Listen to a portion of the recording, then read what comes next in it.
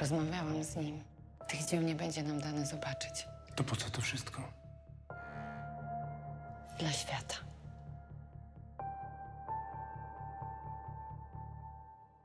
Jezus powiedział, że ksiądz będzie moim spowiednikiem. Że kto powiedział? Jezus, dusza moja buntuje się przeciw niektórym poleceniom przełożonych. Proszę zatem, żeby siostra zapisywała wszystko, co dzieje się w jej duszy. Chcę, abyś namalowała obraz. Twarz powinna być bardziej smukła. I te promienie, ja mówiłam panu, one nie powinny być białe i czerwone, tylko blade i czerwone jak woda i krew.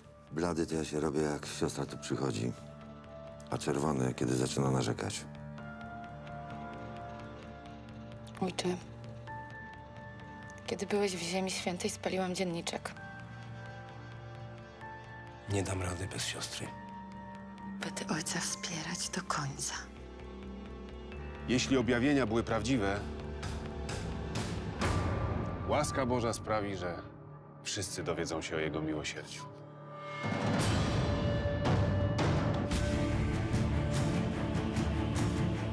Większość rzeczy, które powiedziała do tej pory, ziściła się.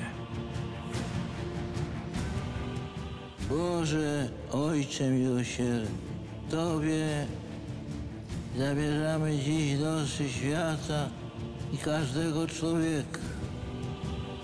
Jak porównać twarz Chrystusa z obrazu Kazimierowskiego i twarz Chrystusa z całunu turyńskiego, to one się dokładnie nakładają na siebie. Kult dawno by upadł, a rozprzestrzenia się pomimo zakazu po całym świecie.